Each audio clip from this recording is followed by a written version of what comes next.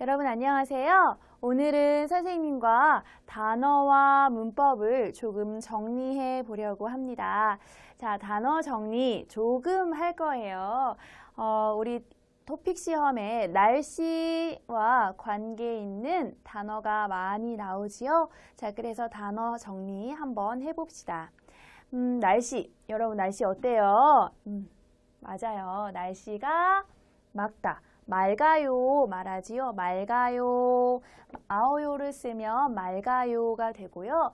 막다 읽어야 해요. 음, 그런데 습니다를 쓰면 날씨가 맑습니다. 이렇게 됩니다. 그렇죠? 자, 해가 있어요. 날씨가. 자, 하지만 날씨가 어때요? 맑아요? 아니에요. 구름이 많아요. 네, 그렇죠? 흐리다, 흐려요. 이야기 할 수 있지요. 흐려요. 이야기합니다. 자, 그리고 구름이 많아요. 이것도 역시 이야기할 수 있습니다. 구름이지요? 네, 그래서 구름이 많다. 이야기할 수 있어요. 여러분은 어떤 날씨를 좋아해요? 음, 날씨가 맑아요. 그러면 기분도 조금 좋지요. 음. 자, 그런데 음, 아니요. 비, 눈입니다.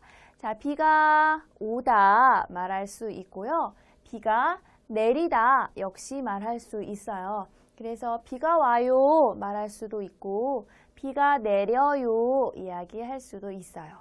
눈도 음, 눈도 그래요. 눈이 와요, 눈이 내려요 이야기할 수 있습니다. 초급에서는 이 정도 알면 되고요. 혹시 조금 더 음, 알고 싶으면 비가 아주 아주 아주 아주 많이 옵니다를 한국어로 이렇게도 말해요. 폭우가 내려요. 폭우가 옵니다. 이야기하고요. 눈이 아주 많이 옵니다. 이거는 한국어로 폭설 이렇게 이야기할 수도 있어요. 아마 토픽 시험에는 여기까지는 안 나올 거예요. 하지만 중급에서 많이 아, 나오는 단어니까 미리 공부하는 것도 괜찮을 것 같습니다. 자, 그리고 바람이, 바람이 여러분, 네, 바람이 이렇게 하는 거 어떻게 이야기하지요? 바람이 불다 이야기해요. 그래서 불다, 불다를 써요. 바람이 불어요. 음, 이렇게 하고요. 바람이 아주 많이 불어요. 그거 말할 때 강한 바람이 붑니다. 바람이 강하게 붑니다. 이렇게도 이야기할 수 있어요. 강한 바람이 붑니다. 붑니다. 이렇게 써요. 강한 바람이 붑니다. 이렇게요.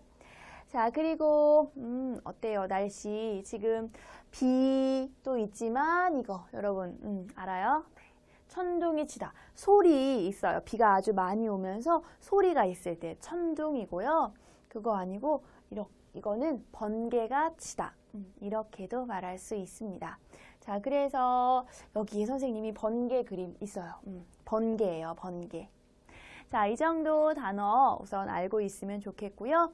또 선생님과 문제를 풀면서 나오는 단어들은 여러분이 따로 또 정리하면 좋겠습니다.